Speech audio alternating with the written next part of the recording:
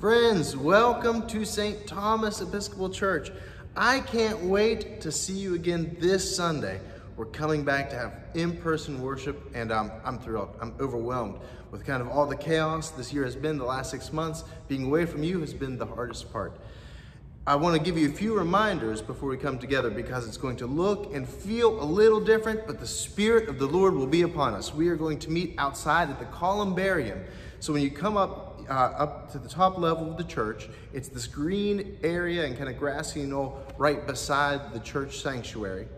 We have an altar set up and we're going to have benches. If you need a bench, if you have trouble standing up or sitting down, uh, we ask that, yeah, you use those benches, but only one uh, family per bench. We don't want different families sitting together.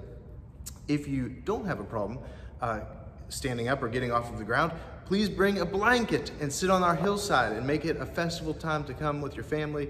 Maybe spread out a nice blanket and find a seat. Or if you have a camp chair or something you can bring. Also, we ask that you remember your masks. It's going to be important even though we're outside. The thing that's going to make this successful is that we're going to stay safe.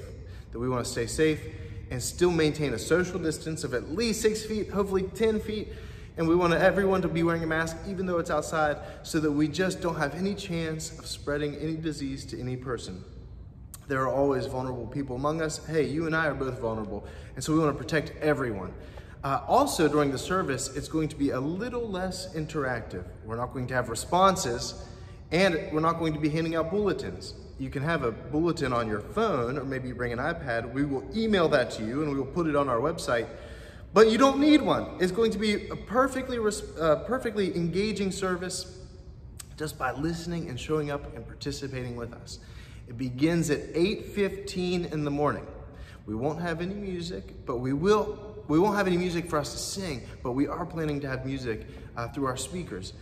And I hope you can come and excited and just open to the opportunity of worshiping together once again. In time, we hope to add a 5 p.m. service.